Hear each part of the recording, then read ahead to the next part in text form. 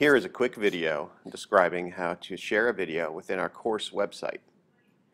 You can see that I'm on our course website, Read 525, and that I'm already signed in. Being signed in is going to give me access to the Share Videos tab, which I'm going to go back to. I'm going to go into YouTube, and I've already found the video that I'm going to embed in our site, how Google search works. If I scroll down a little bit, underneath the video, you're going to see a button that is share or embed this video.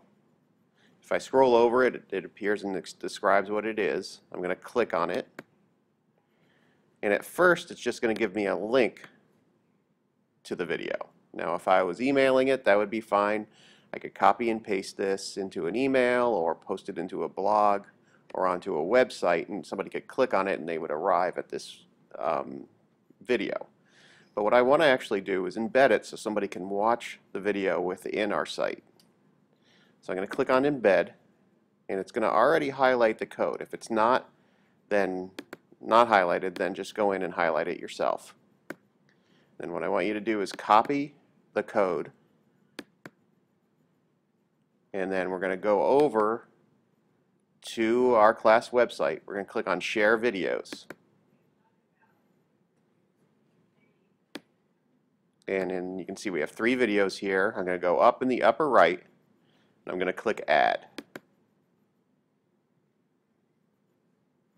This is going to give me space that I can paste that code that I grabbed, the embed code, and I'm going to paste it right here and then I'm going to click add video.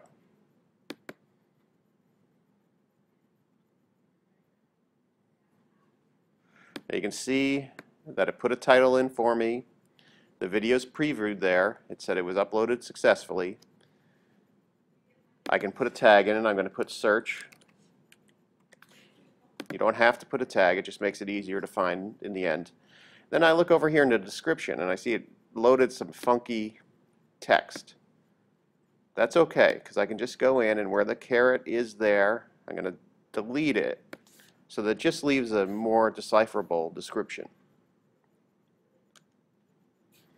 And you don't even need the description necessarily. I mean, usually the video is self-described. Um, but they had entered that themselves, so this describes what the video is. So then I'm going to click Save. And I'm going to see the video comes up as added by me. But if I go to Share Videos, I can see that it was added to the site, and I could watch it here.